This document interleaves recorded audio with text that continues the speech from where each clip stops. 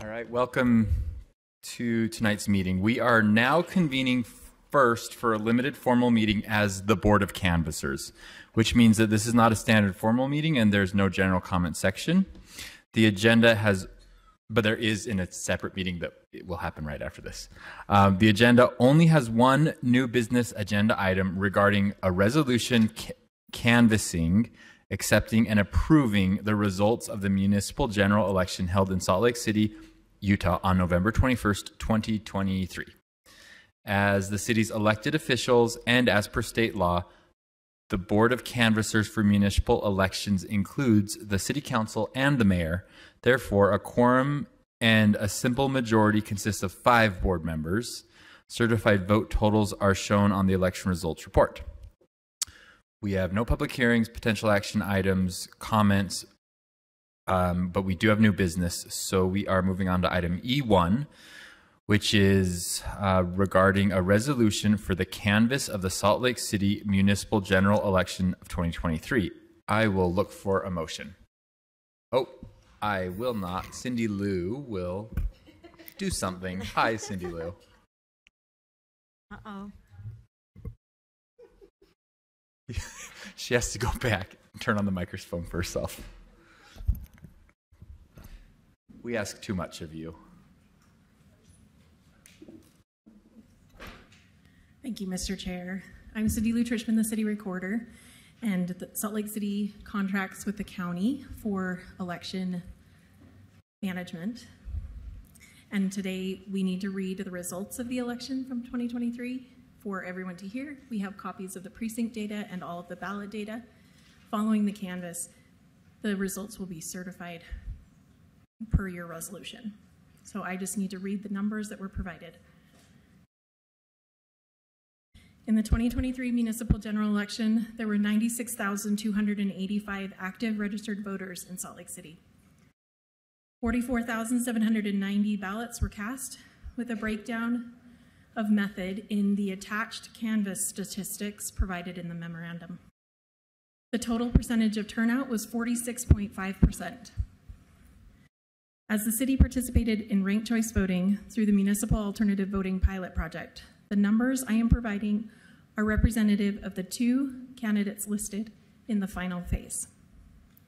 For Salt Lake City Mayor, Rocky Anderson received 15,301 votes. Erin Mendenhall received 25,958 votes. Erin Mendenhall is the duly elected mayor. For City Council District 2, Alejandro Alepoy ran unopposed, receiving 2,138 votes. And Alejandro Alepoy is the duly elected District 2 council member. For City Council District 4, Ana Valdemoros received 2,100 votes. Eva Lopez Chavez received 2,427 votes. Eva Lopez Chavez is the duly elected District 4 council member. For City Council District 6, Tamor B. Simnani received 3,682 votes. Dan Dugan received 4,695 votes. Dan Dugan is the duly elected District 6 council member. And for City Council District 7, a two year term, Molly Jones received 3,794 votes. Sarah Young received 4,139 votes.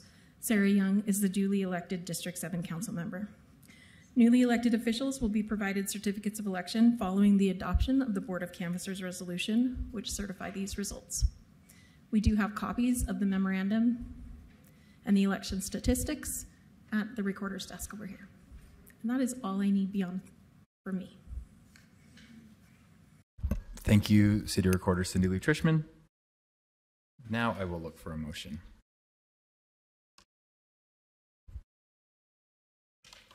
Chair. I move that the Board of Canvassers adopt the proposed resolution certifying, accepting, and approving the results of the municipal general election mayor, city council districts 2, 4, 6, and 7 held in Salt Lake City, Utah, November 21st, 2023. Second. I have a motion from Councilmember Valdemoros and a second from Councilmember Wharton. Is there any discussion to this motion? Seeing none, all those in favor say aye. Aye. Aye. Any opposed say nay. Do I need a roll call? No, I do not need a roll call. I just wanted to make a clarifying point for the public.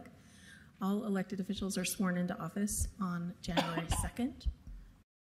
Okay, thank you. Yeah, the swearing in ceremony will be January 2nd. So that motion passes seven to zero with Mayor Mendenhall being absent. Oh, did Rachel vote? Okay, eight to zero. I didn't realize that was possible. Thank you for being here, Rachel. Couldn't have done it without you. Um, This concludes our board, our limited Board of Canvassers meeting. Oh, sorry. Thanks, Dan. Um, oh, is there a motion to adjourn the Board of Canvassers meeting? Mr. Chair, I move that we adjourn the Board of Municipal Canvassers. Second. Is there a second? Okay, motion from, I guess, Board Member Dugan, a second from Board Member Petro. Any discussion to this motion? All those in favor say aye. Aye. Aye. I Any opposed say nay. That passes eight to zero. Okay, this concludes our limited Board of Canvassers meeting, and this meeting now stands adjourned.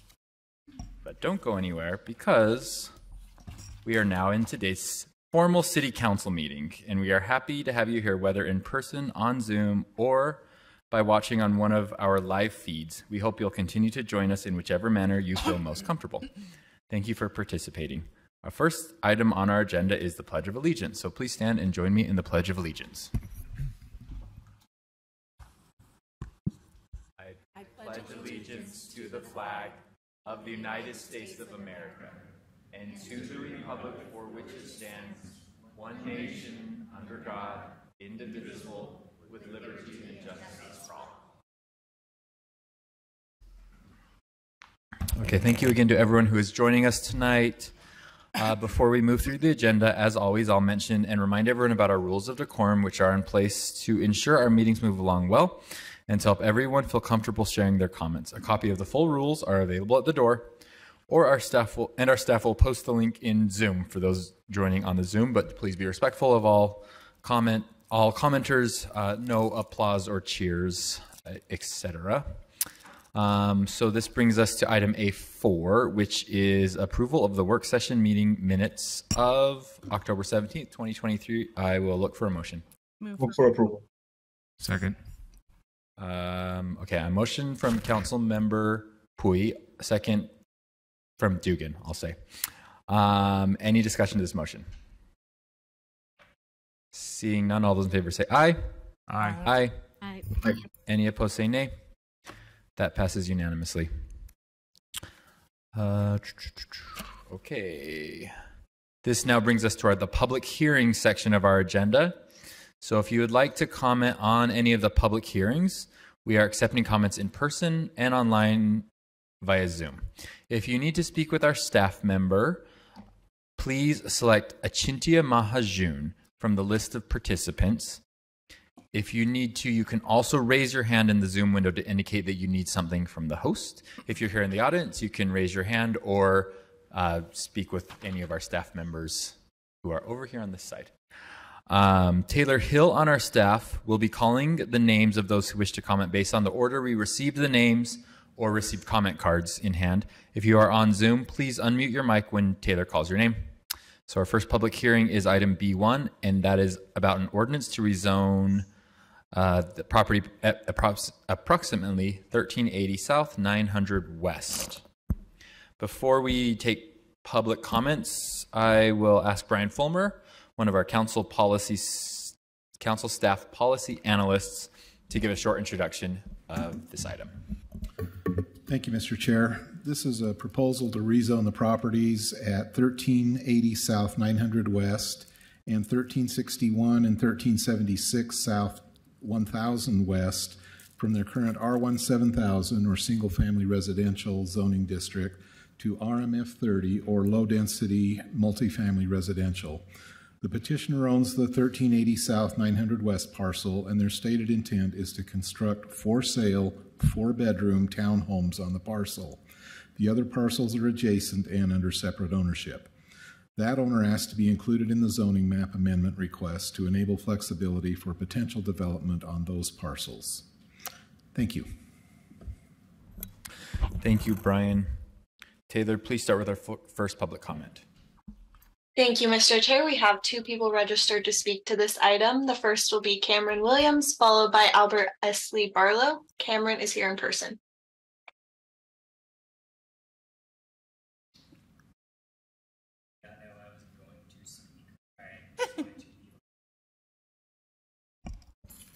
Sorry, guys. I uh, I didn't know I was going to speak. I just wanted to leave a comment on the paper, but Okay, great. Did you leave a comment card? think I left a few sheets of paper.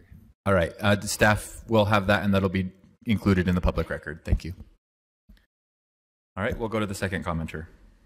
Next will be Albert Esley Barlow, who's here in person. Council. Um, I've spent a little bit of time getting to know my neighbors and have. Could you speak a little closer to the microphone? Sorry. Thank That you. better? Okay. And I've come to find out that the community as a whole that is adjacent to this proposed development is immensely against it. It's unique in the fact that so many people's backyards abut to this. And every single person that I've spoken to next to it that owns the home and has been there for a long time is vehemently against it. They're saying heck no. So that is something to take into consideration. Um, multifamily housing in that particular area doesn't fit the identity of the neighborhood whatsoever. I think Cameron agreed with me on that. There was a lot of people that couldn't make it today that hold the exact same sentiment. Aside from that, I think it's it's carelessly optimistic, a little bit foolishly overzealous to think that you're going to insert this type of housing in the middle of what is kind of an old growth community. So there's a lot to consider here, and I think um, you know an analysis of the impact of this type of development will have hasn't been thoroughly looked over. So I think don't be quick to say yes to something that might not be the, the best idea. So with that in consideration, I hope you guys will vote nay, or at least uh, take your time before granting this amendment. That's all. All right, thank you for your comment. Is there anyone in, in the audience or online that did not register but would like to speak to this item? Please come to the front and state your name for the record.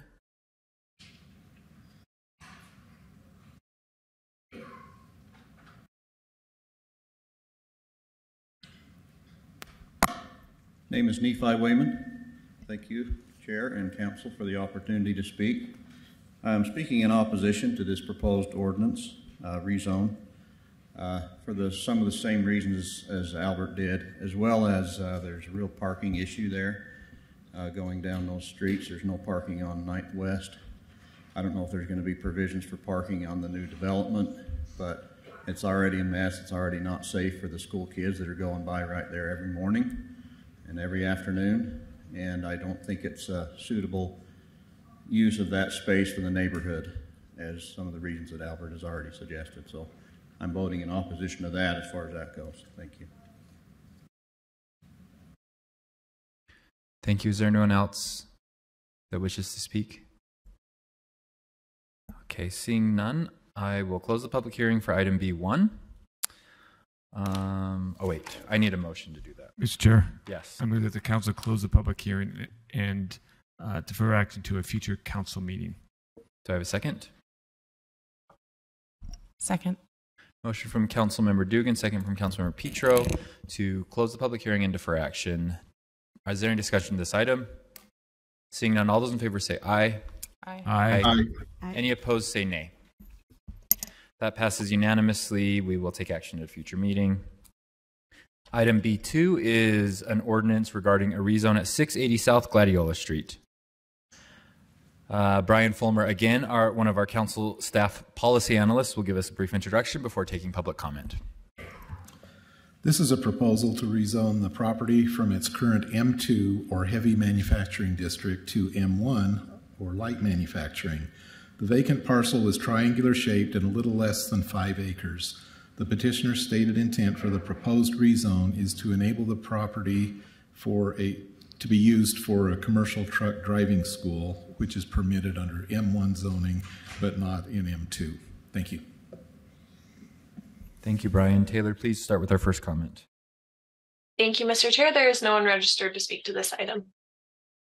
All right, is anybody here in person or online that did not register but would like to speak to item B2? Okay, seeing none, I'll look for a motion. Mr. Chair, Yes. I move that the council close the public hearing and adopt the ordinance. Do I have a second? Second. Okay, the motion is from Councilmember Puy. I'm going to say Councilmember Wharton this time. And the motion was to close the public hearing and adopt the ordinance. Is there any discussion to this motion? Seeing none, all those in favor say aye. Aye. Aye. Any opposed say nay. That motion passes unanimously.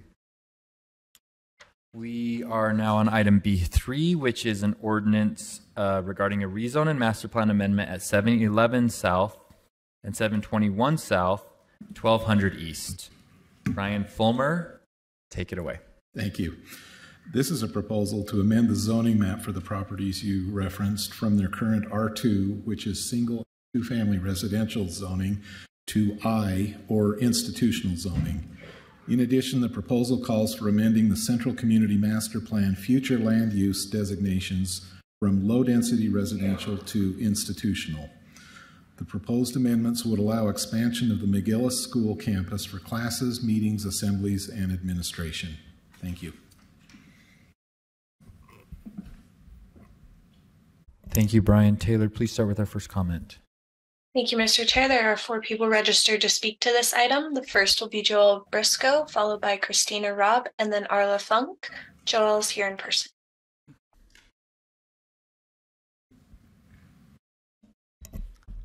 Hello. Welcome, City Council. I was on the school board years ago when the Salt Lake City School District declared the Douglas Elementary School surplus. It is, we received two offers for the property as the school board. One of them was from a company that wanted to create a skilled nursing facility on their property, and the other was from a group that turned it into the McGillis School. Because this was my neighborhood, my kids played on the playground. We people walked dogs, threw frisbees, flew kites, and on the green space. I walked the neighborhood and I asked people what which of those two alternatives they preferred. To a person, they indicated that they would like to see it remain a school. I'm encouraging you to act favorably on the rezone and on the master plan amendment tonight so that the McGillis School does not lose the opportunity to Uh, acquire and make this transition. When I read the reports from staff, I have to tell you, it warmed my heart to think of children walking the streets of my neighborhood half a block from the current McGillis to what would be their new camp, their new smaller campus.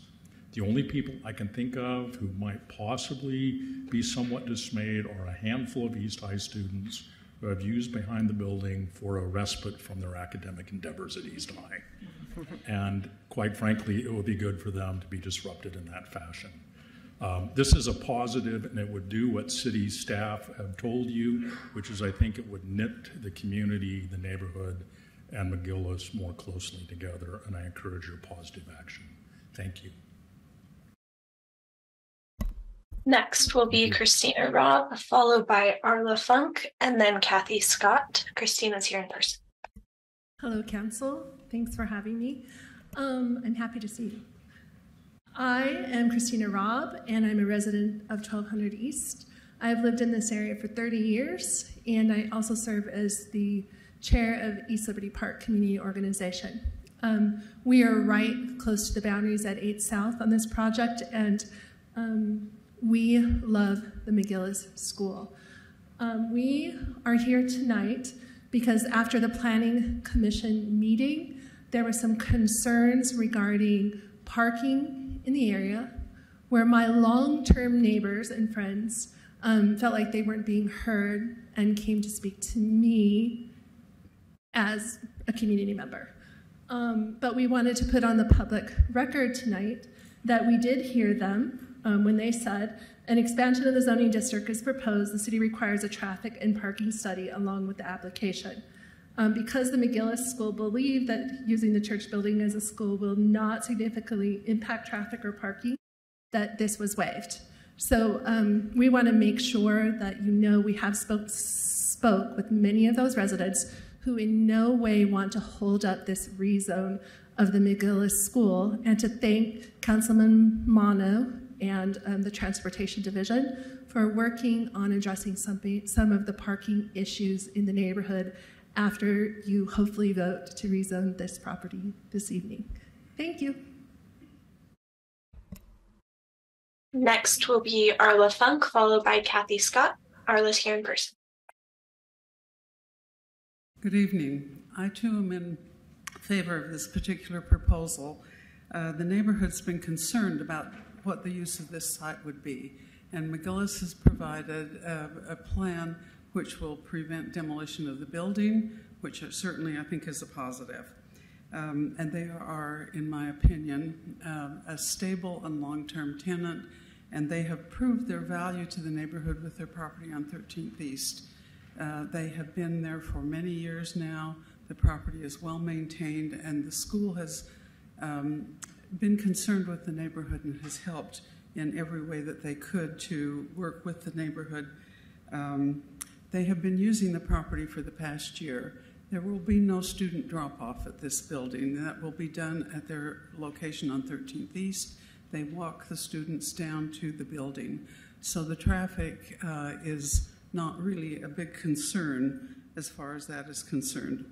The city sent out notifications. The community council also did a survey, and they surveyed the block on both sides um, of the street where the building is located everyone was totally in favor of the zoning recommendation. They also did some survey on um, 7th and uh, 8th South, and again, it was 100% positive. Um, so um, you have in your packet a letter from the Community Council. I am actually here on behalf of Esther Hunter, who is the Community Council Chair.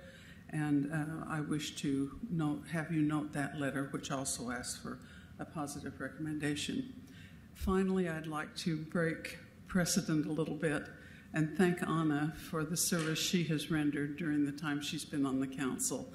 Anna recognizes that the most important element in Salt Lake City are the people, uh, the people in the neighborhoods. Fine. We appreciate that. Thank you.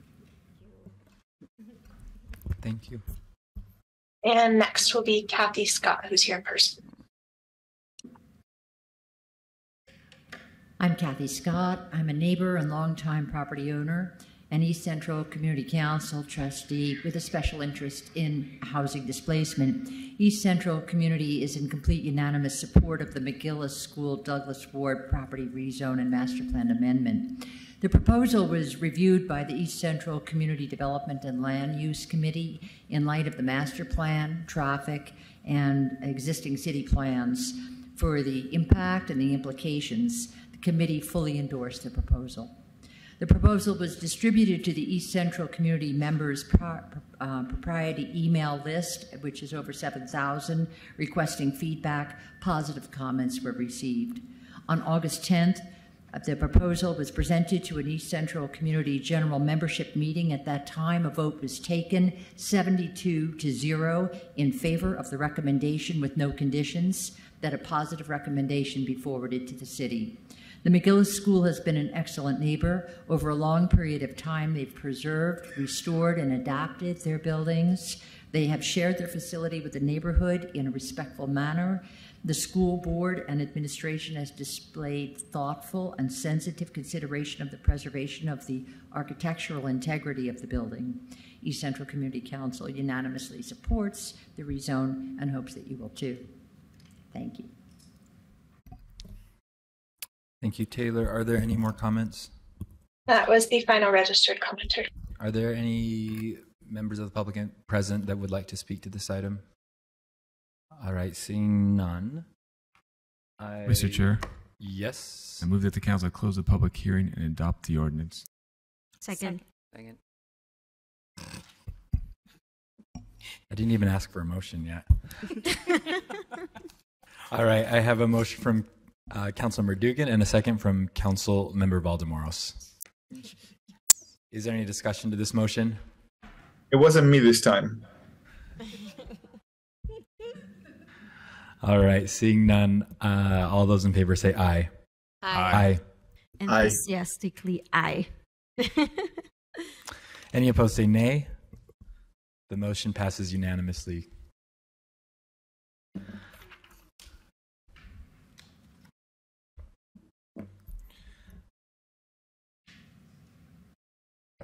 I can say something. I'm. Thank you for your words. Um, I, it's been great to work with the McGillis School and the Central Community Councils. So involved and so um, pleasant to work with, and we have made so much progress because we all sat down and talk and talk and covered so many um, different iterations of how we could make it happen. And you are a great addition, the McGillis School. Obviously, the neighbors are so pleased to have you there, and I'm so excited that we're keeping that building, and it's for an excellent, excellent um, reason and, and purpose. So congratulations to McGillis. So good luck in closing that deal. Go go knock on their doors right now. Sign it. Thank you. And without Councilmember Valdemor's asking us to accelerate that, we we would not have adopted tonight. So um, we are on. That's the last public hearing item. We do later in the agenda have general comment. So stick around if you're here for that. Um, we are now on section C. Section C is potential action items. And this brings us to item C1, which is an ordinance related to subdivision code amendments. I will look for a motion. Mr. Chair, Yes. I move that the council adopt the ordinance. Second. I have a motion from Councilmember Puy and a second from Councilmember Petro. Any discussion to this motion? Seeing none, all those in favor say aye. Aye. Aye. Aye. Aye. Any opposed say nay. This motion passes unanimously. Item number C2, which is an ordinance regarding a rezone at 215 2157 South Lincoln Street, is going to be pulled from today's agenda and rescheduled to a future meeting.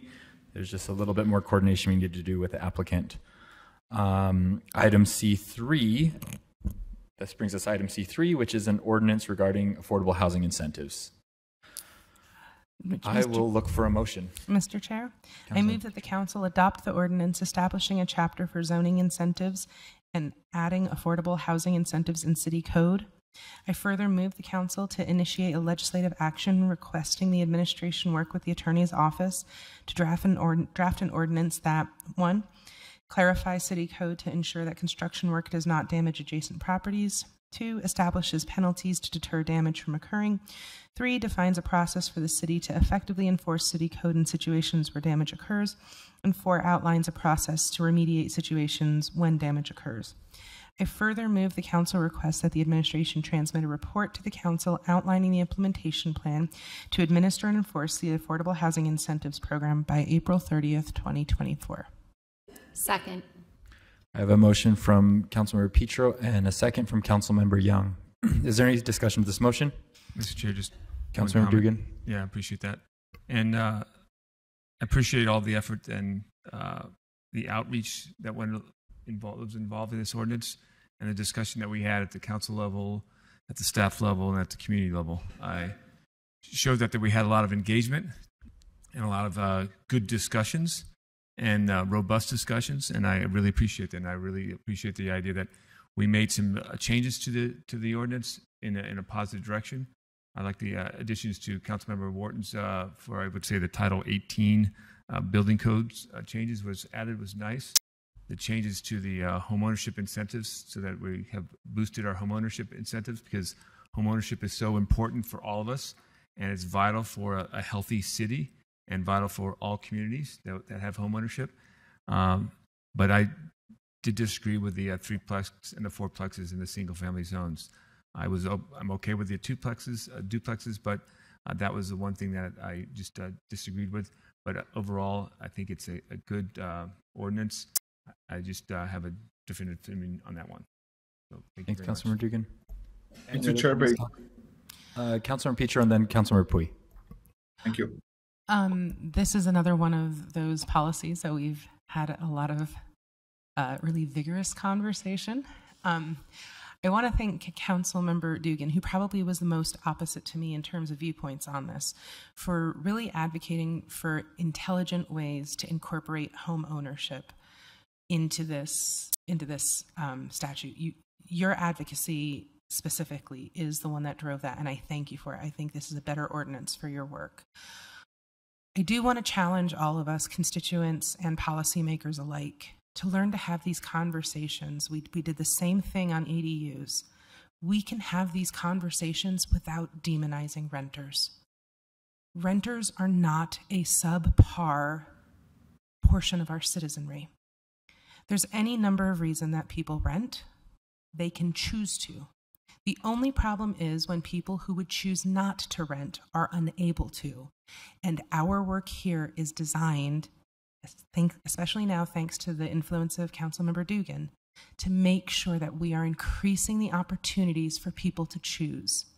But if our city, in the course of transition, has a shift in dynamics, it would just be incumbent upon us to include renters in ways that they have historically not be included, not been included.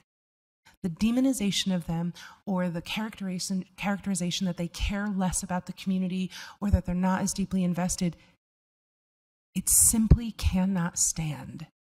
And we must eliminate it, constituents and policymakers alike, from our vocabulary.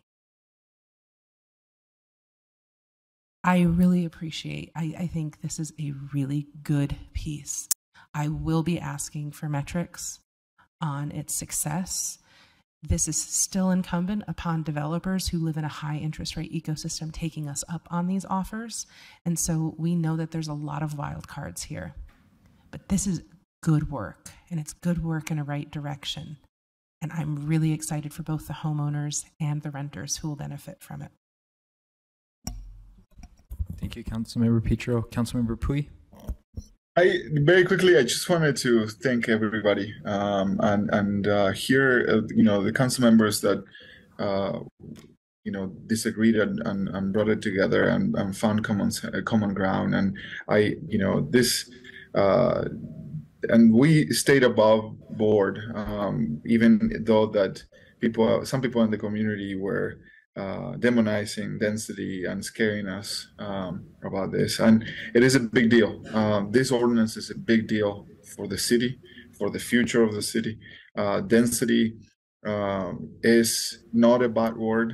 Um, sure, we have to mitigate some of the issues related to density, but we need to recognize, and I hope this ordinance uh, shows to the whole state uh, recognize that we are growing and we need to accommodate the growth in a manner that uh, allows for density in other in, in all parts of our city. Albeit uh, it might be gentle density in some parts, um, but you know density belongs every place in our city. Um, and I want to thank everybody and for torturing the planning department so much and uh, with making all the many changes. Uh, thank you everybody for for for this for bringing this ordinance to this point. So. I'll, I have a. co- I'm, I'm saving my comment till after. Yeah. It's not about the motion. Okay. Okay. Well, I guess. I guess. I mean, you can say it whenever you want. Okay, I'm gonna say mine now. Um, I I, I want to just thank everybody for their work on this as well. This is a really long time coming, um, working on this ordinance, and it's um, I hope um, and I believe it's going to be one of the things that I'm most proud of having accomplished um, in my time on the council. Um, and for people, I know a lot of people are nervous about it, um, and a lot of people are are afraid about what changes this might mean for their neighborhood. Um, and I hope that um, that people that are feeling that way will come up to the avenues or come to Marmalade and spend some time and see that um, having single family homes next to apartments, um, next to condos, next to townhouses, next to historic mansions. You can have a neighborhood that has all of that um, and still has you know little stores and shops and restaurants that you can walk to. And even uh, though the process by which the avenues and the marmalade came to be that kind of neighborhood um, was a quite a bumpy road.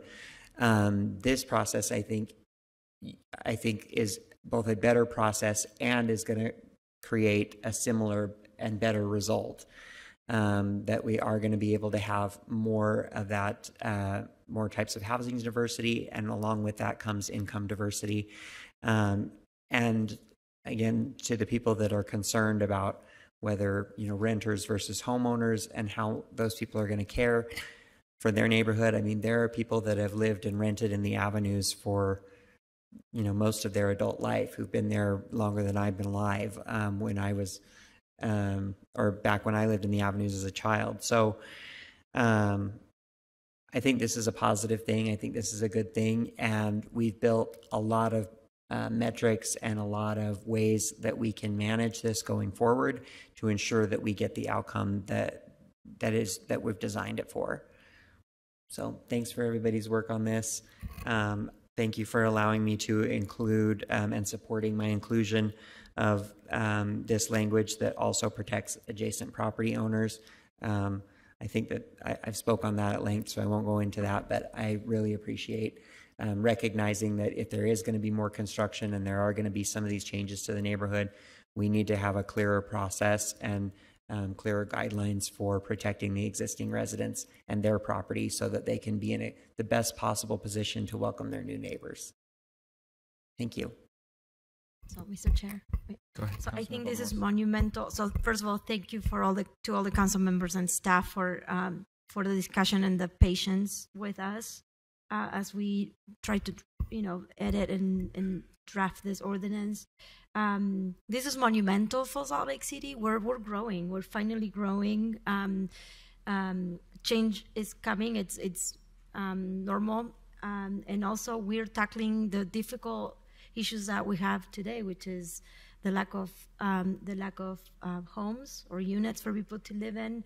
We're tackling the affordability, the affordability issue. We're tackling the home ownership issue, uh, and and we're tackling the the things that we heard from the neighbors, which were not related to this, but we um, have been proactive in that sense uh, what you know we know we're growing and what's going to happen when potentially some structures may damage the city needs to have an answer for that and i'm so glad that it's here so that we can prevent and have some remedies for that um, district 4 it's no stranger to renters uh, or to growth or to multiple people living in, in you know in a, in a unit so um, that was not the issue I feel in terms of um, home ownership or rentals.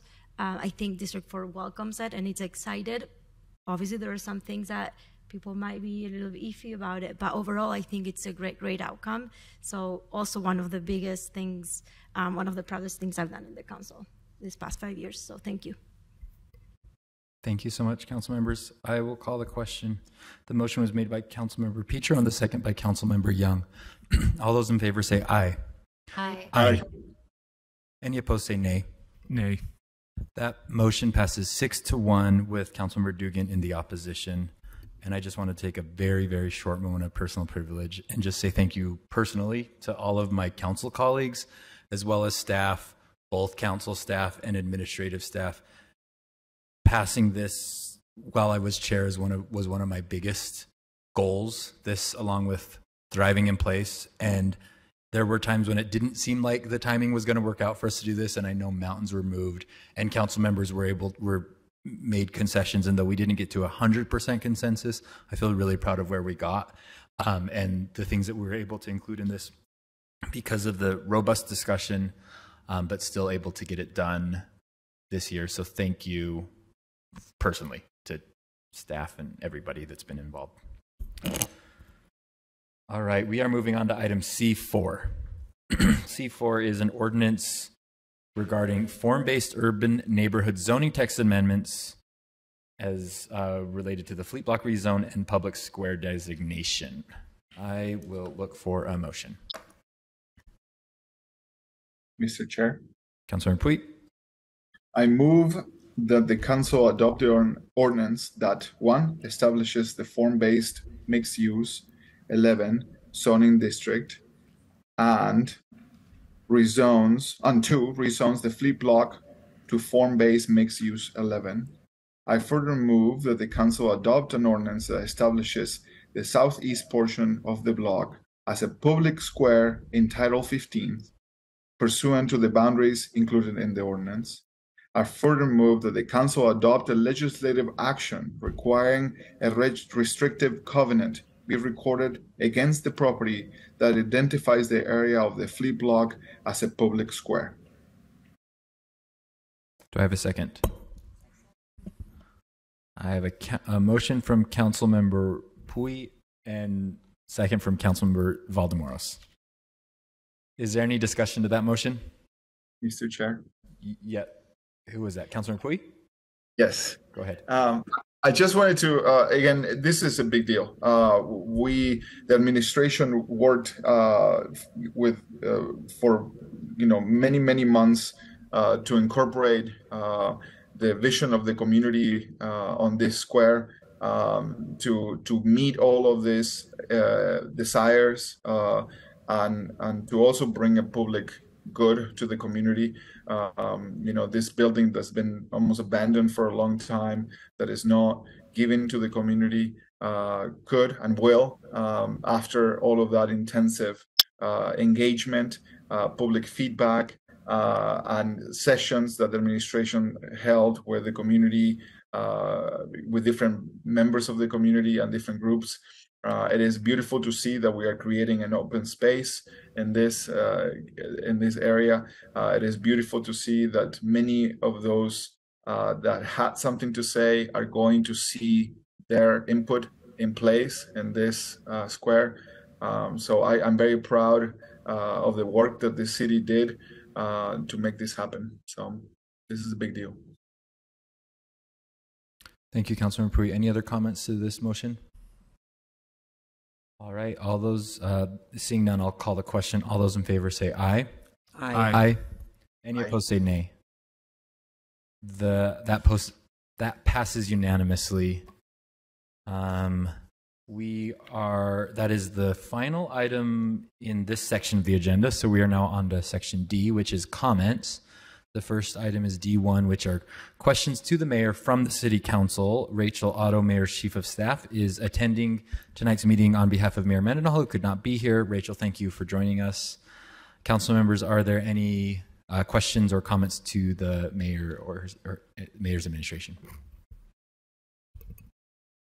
Seeing none, we will move on to item D2, which is comments to the City Council. This is the general comment section of our agenda where members of the public can speak to us on any item that was not on one of the public hearing items before, previously in the meeting. As a reminder to those joining in Zoom, Achintia Mahajun from our staff is going to moderate the Zoom window and we'll message you with any questions about your registration. Staff is handling many tasks, so limit messages to Achintia to technical issues and minimal informational updates. If you do need to speak with our staff, um, you can also select Scott Corpany from the list of participants, and you can, uh, as well as raise your hand in the Zoom uh, window to indicate that you need something from the host. Taylor Hill, another staff member, will be calling the names of those who wish to comment based on order of registration or received comment card. If you are on Zoom, please unmute your mic when Taylor calls your name. If you're here in person, please come to the podium. At the two minute mark, the host will announce time and your microphone will be muted. If you're unable to finish your comments, please send the rest via email, mail, or call our office.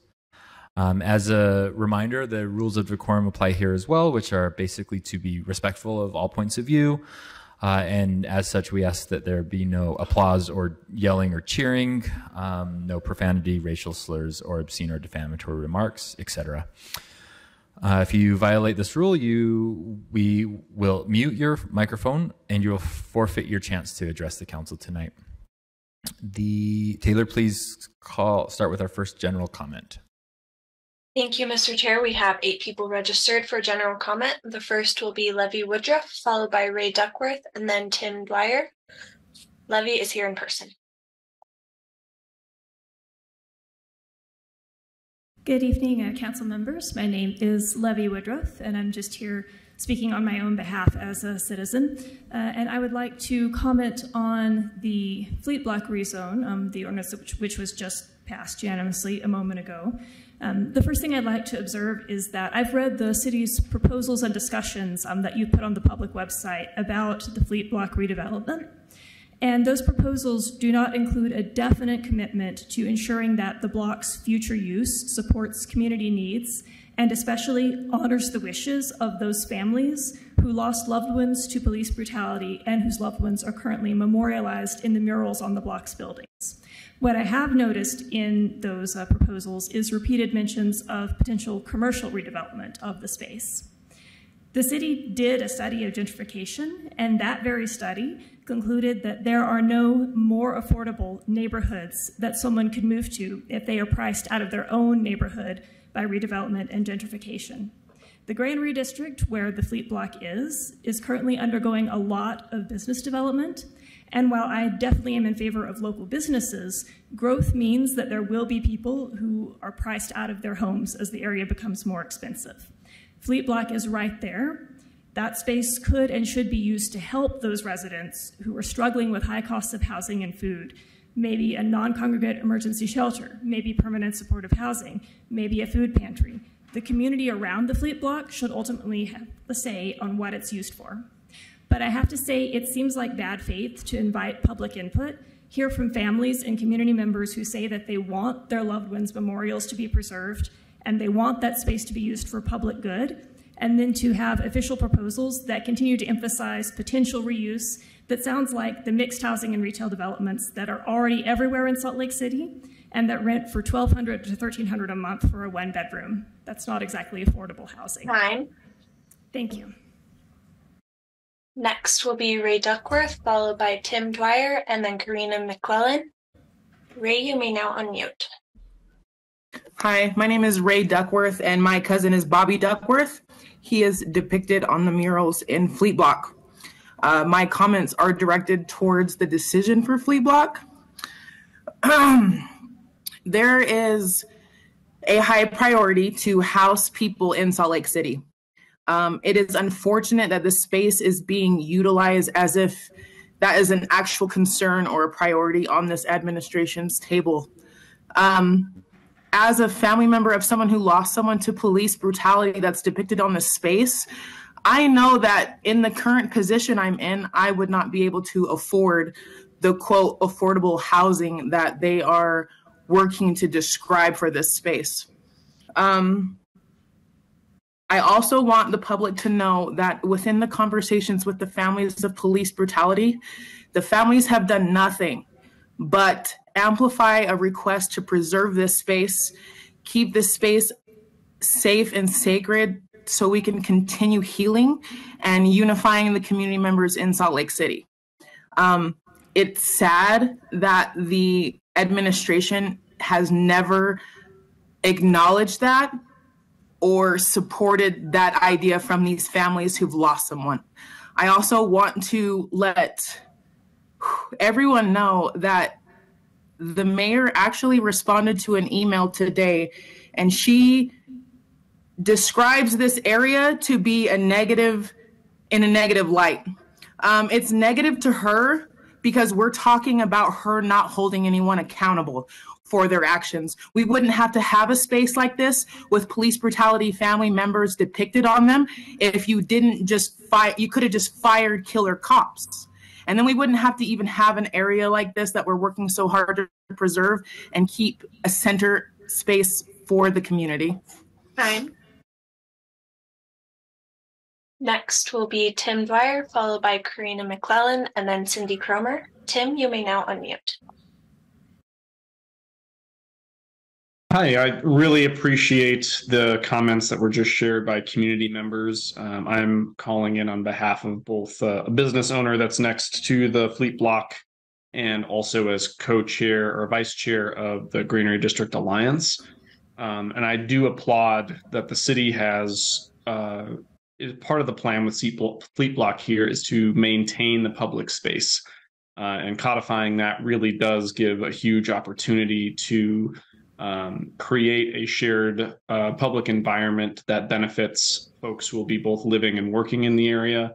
Um, this is something that the district has been, or the alliance that I'm a part of, has been advocating for for some time, and it's really great to see um, that that part of our uh, push for green space and public space has been heeded. Um, I also do see that the the city has a big responsibility to uphold um, you know the, the murals and um, you know what this means to the community now um, in its current form um, and i really hope that uh, going forward with the, the, the proposals for this park and the details of that do honor the community in the fullest sense um, both for what it has become um, and what it means and what it can uh, do to continue to support the community in and around fleet block um, we do have some concerns still with uh, the lack of uh, parking considerations, and that's been voiced um, uh, from several different aspects uh, related to the development there, especially if we're looking at large scale. Um, we definitely don't want to create uh, a street parking crisis like we have in um, uh, the central ninth area. so any sort of housing should have some important considerations for parking. Um, but ultimately, I think we like to see what's happening with Fleet Block and certainly applaud the city's uh, promotion of the public and green spaces. And next will be Karina McClellan, followed by Cindy Cromer, and then Christina Robb. Karina is here in person.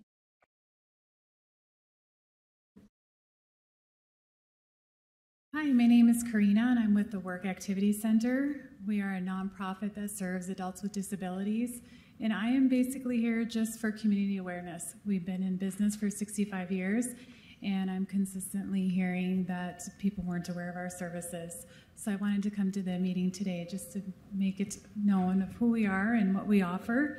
Um, our, in our uh, center, we offer uh, a day program, a residential program, as well as an employment program. In our day program, we work on like social skills and working on coordination and tactical skills, journaling, book club. We have a beautiful courtyard where we work on gardening and bocce ball out there, as well as uh, adaptive outdoor fitness and exercise. We have also an indoor adaptive exercise um, facility, and it's the only one in the state of Utah that is not attached to a hospital. We have an amazing creative arts department where we host an annual art show every year. And this past September, we had 69 pieces of art that were amazing pieces. We've got really masterful creations that come out of our center. In our residential program, we have four properties. Two are in South Salt Lake, and we do have openings currently in our residential program. In that program, we support daily living skills, grocery shopping, community activities, as well as financial and medical case support. Our Employment Services Department is located in Salt Lake as well, and there we work with uh, employment preparation and job coaching and supportive employment, working alongside with Voc Rehab and um, trying to get some of our clients out to work. And finally, we partner with UTA for transportation to get all of our folks to and from appointments and various things. And we have a large focus on community inclusion activities. And that's it. Thank you. Next will be Cindy Cromer, followed by Christina Robb, and then Ilana Raskind. Cindy is here in person. My name is still Cindy Cromer. I'm making an end of the year request regarding nominations to the city's boards and commissions. I'm going to put the request right up front and then explain why I think it's so important. I'm asking that in 2024, all nominees to the city's boards and commissions sign a statement that they have read and support the authority of the board or commission as stated in the ordinance. This afternoon, I sent you a copy of 21A.06.030, which states the authority of the city's planning commission. It is very clear in the ordinance that the planning commission does not set policy except as related to its own operation. Contrary to a recent statement, the commissioners do have the authority to initiate petitions, although the current members have rarely used it. The commissioners make recommendations, make decisions on specific administration matters, and hear appeals. These actions are rarely based on economics. Commissioners do not have the authority to ensure that their colleagues or business partners are selected for the commission, although I could tell you a story about that. I will close by stating that the commissioners' personal opinions are largely irrelevant to the task of making recommendations and administrative decisions. The most important qualities in a commissioner are appreciation of our adopted ordinances, respect for the public engagement which contributed to those ordinances, and the initiative to propose changes to ordinances which are not accomplishing the shared vision we have for the city. As always, I am willing to talk to you individually or with your staff about this suggestion. Thank you. And next will be Christina Robb, followed by Ilana Raskind, and then Wendy Garvin. Christina's here in person. Hello, my name is Christina Robb, and I currently represent the East Liberty Park Community Organization as chair. I am also a renter. Um, it's been really exciting to work with my particular community council as a renter and to increase the diversity of our community council to understand the needs as well as um, of renters as well as those as folks who own property and reside in ELPCO. Um, I wanted to thank the council for really um, listening to us regarding the affordable housing um, initiative slash overlay. All the way through the process, um, we felt like you were hearing us as we made um, suggestions about stratifying the, um, the ordinance to reflect more detail. Um, our community council wrote this at the beginning of the process. While this proposal does incentivize just density, density on its own does not necessitate affordability. Without safeguards, data collection, enforcement for affordable units, density is simply an act for its own sake and further displaces renters at lower price points due to demolition of lower value units in favor of higher priced, more densely packed units. And further in the process, we can't thank you enough for the struggles you went through to come up with um, an ordinance that does indeed, in our opinion, provide safeguards, data collection, and enforcement opportunities to actually incentivize affordability in Salt Lake City. Thank you. Next will be Ilana Raskin, followed by Wendy Garvin. Ilana, you may now unmute. Thank you. Um, hi, everyone. My name is Ilana Raskin. I'm here to comment on the Fleet Block rezone.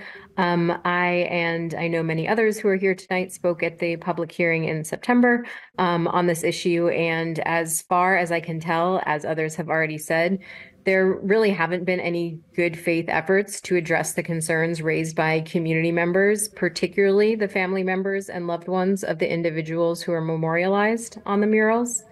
Um, and while many community members, myself included, appreciate the designation of a public square, uh, the family members of those represented in the murals, who I don't speak for, but whose words I hope to amplify, have repeatedly asked for the space to be used to provide vital services to our community, including truly affordable housing, mental health services, childcare, public health services, affordable healthy food, and many other resources. And my question tonight is why have the mayor's office and city council not committed to taking action on these requests? If the answer is that there's too much money to be made from commercial development, I would respectfully request that you simply say that repeatedly saying to the community that you are listening to the families and listening to community members without any real action to back up your words is disingenuous and erodes the already limited trust between constituents and elected officials. So after tonight, as the development of Fleet Block enters a new phase, I sincerely hope that you seek to rectify the harms that have already been done and actively commit to creating a space that truly serves the needs of the community. Thank you. And next will be Wendy Garvin, who's here in person.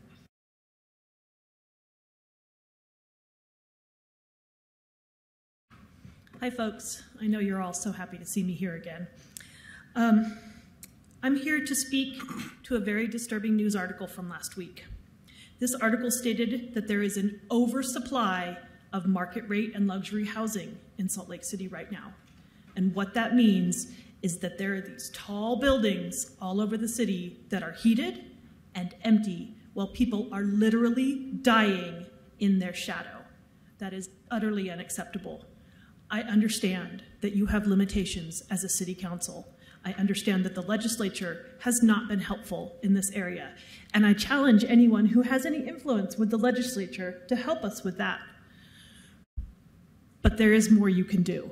The city has lobbyists. You could be you could be lobbying to change the ban on inclusion, inclusionary zoning.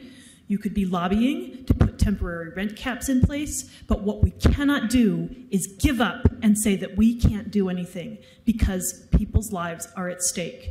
And that harms not only those people who are experiencing homelessness, but we as a society who walk past them while they suffer. I know that we can do better.